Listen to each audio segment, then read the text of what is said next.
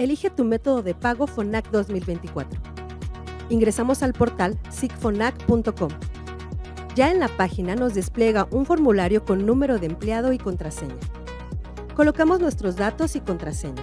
Si es por primera vez, ponemos nuestro RFC a solo 10 dígitos y damos clic en enviar. Nos abre otra ventana con nuevo formulario en el cual tenemos que llenar los campos como participante, que es nuestro número de empleado, la contraseña actual que es el RFC a 10 dígitos. Y generamos una nueva contraseña, la confirmamos y llenamos los campos de nuestro correo electrónico. Recuerden que el correo es en minúsculas. Y damos clic en Crear usuario. Nos envía a la página de inicio. Colocamos nuestro usuario, número de empleado y la contraseña nueva.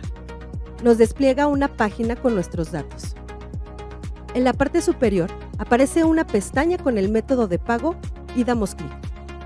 Nos envía un formulario en donde elegimos nuestro método de pago. Si quieres que tu pago sea depositado en tu cuenta bancaria, selecciona SPAY.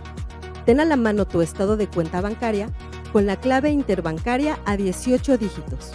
Imprimimos el formato y entregamos en el área de recursos humanos de nuestra unidad administrativa y junto con el estado de cuenta bancaria.